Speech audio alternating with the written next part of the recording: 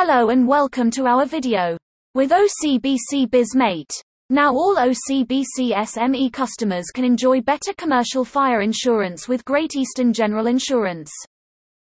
So what is OCBC BizMate? OCBC BizMate is our premier insurance plan designed to help safeguard your commercial property against a multitude of harmful disasters. With OCBC BizMate, enjoy better coverage against fire, lightning damage, and other hazards. With OCBC BizMate, you will receive protection under five areas. Fire. Mortgage protection. Public liability. Theft, armed robbery or hold up. And plate glass. We cover the replacement, repair, or reconstruction costs of your property in the event of fire or lightning damage. If your property becomes uninhabitable due to fire or lightning hazards, we will pay you up to 10,000 ringgit per month for a maximum of three months. We extend our coverage to include bodily injury suffered on your premises or your business is subject to property damage. We will cover for the legal liability up to 100,000 ringgit. Receive coverage up to 50,000 ringgit for loss or damage to your insured property resulting from theft, armed robbery, or hold up, provided there is visible evidence of forced entry or exit from the premises.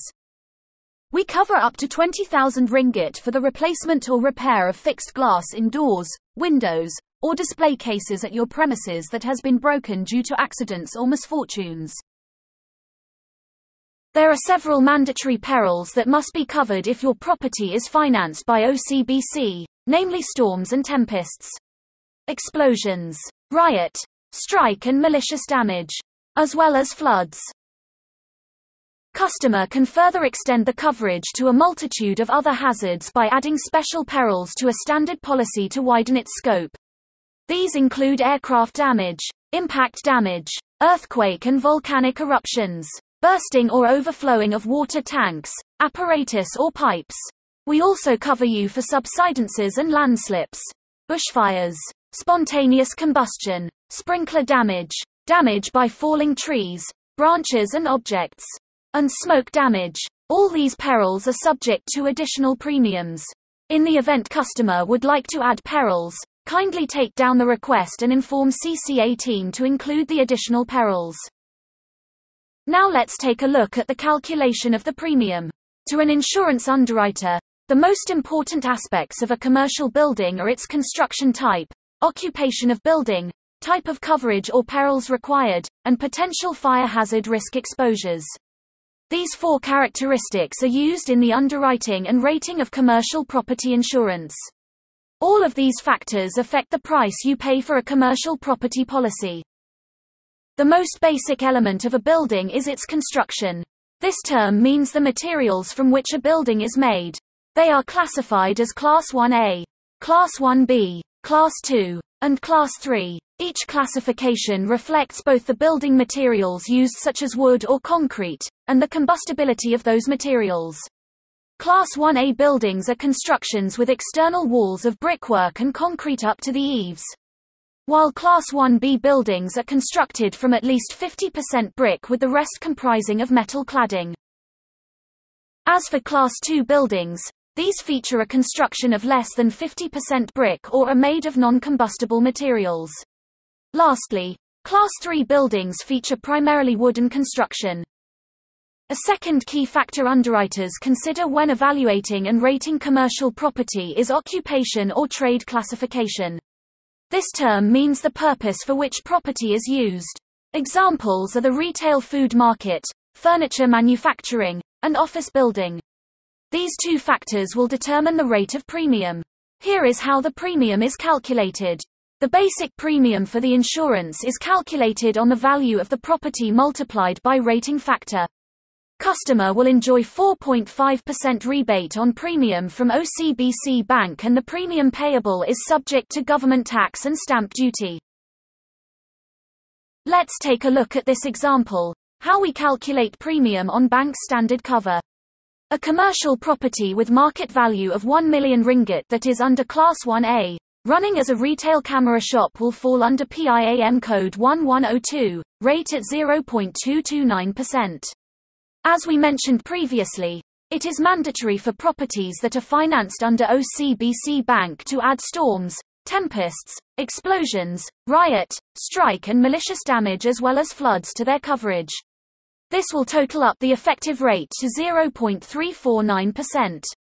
The gross premium will be 1 million ringgit multiplied by 0.349% and that makes up 3,490 ringgit. Now that we have gone through the covers and benefits, let's look into the losses that are not covered by this policy. There are several major exclusions. Loss due to date recognition, theft during or after the occurrence of fire, burning of property by public authority, damage due to subterranean fire, pollution or contaminations, war and active terrorism, radioactive and nuclear energy risk, or property damage to data or software are all excluded. Now let's take a look at the payment information in detail. This policy's gross commission is 15% and the bank is giving customers a discount of 4.5%. Government tax is based on the gross premium before the discount and the stamp duty is 10 ringgit. Premium will be debited to insured loan account. There are two type of cancellation procedure you need to take note. Property discharged and customer wish to insured with other insurance company. For property discharged, CCA will inform GEGM the loan has settled, hence auto-renew and auto-debit will be cancel. The policy will still effective until expired date. For next renewal, customer will need to direct liaise with GEGM and payment to be made directly to GEGM. If customer wish to insured with other insurance covering the same property, customer will need to notify us and OCBC Bank, Malaysia, Berhad. Such notification must be provided within 90 days from the commencement of the period of insurance.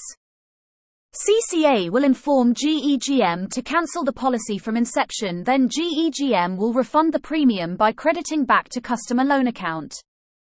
Please take note such request is on year-to-year basis. Customer is required to submit other insurance policy every year to CCA. Please be informed that any request for the refund of premium as a result of double insurance shall not be considered in the event of late notification, that is, notification received after the 90 days period. For the avoidance of doubt, the refund of premium, if any, shall be limited to the premiums paid for the period of insurance. Should a claim arise, an insured can notify us via online submission, direct call to our customer service line or drop us an email. As we mentioned earlier, for many, fire insurance is set and forget. However, property prices do change over time. As time passes, the sum insured may not be adequate for the current value of your property. Your coverage should reflect the current cost of rebuilding the property. As a policyholder, it is customer duty to ensure that their property is adequately insured at all times. Kindly take note that in the event of underinsurance, the policy will be subjected to the average condition and you will need to bear a proportionate share of the loss. The example below illustrates how inadequate insurance can affect you in the event of loss. With existing sum insured of policy at 200,000 ringgit, reconstruction cost of insured property, at time of loss is 250,000 ringgit, and total loss amount is 100,000 ringgit. The payable claim under this policy will be calculated based on the policy's average condition.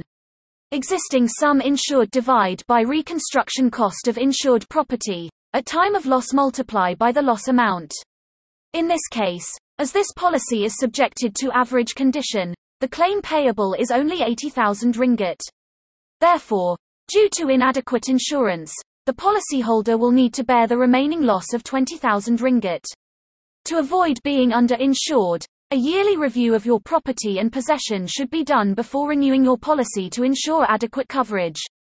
For your easy reference, OCBC and GEGM come to agreement that there will be two common expiry date for all BizMate policy which will fall on the 31st of March and the 30th of September every year. Hence, the premium for first year will be slightly higher due to the period of insurance is more than 12 months. This is only applicable to first year policy. Look at the example. Loan that drawdown on the 15th of February 2020. The period of insurance will be the 15th of February 2020 to the 31st of March 2021 which the total cover period is 13 months 16 days. Refer to another example. Loan that drawdown on the 2nd of April 2020. The period of insurance will be the 2nd of April 2020 to the 30th of September 2021 which the total cover period is 17 months 28 days. In summary, Loan drawdown from the 2nd of October to the 1st of April. The expiry date will be fall on the 31st of March whereas loan drawdown from the 2nd of April to the 1st of October, the expiry date will be fall on the 30th of September. Before we end this presentation, here's a few important things to take note. First, the customer must ensure the property is insured at the appropriate amount in regards to renovations made to the property. Second, should the customer select to insure the building on full cost of rebuilding, this includes architect and surveyor fees and or cost of debris removal has to meet new building regulations and bylaws.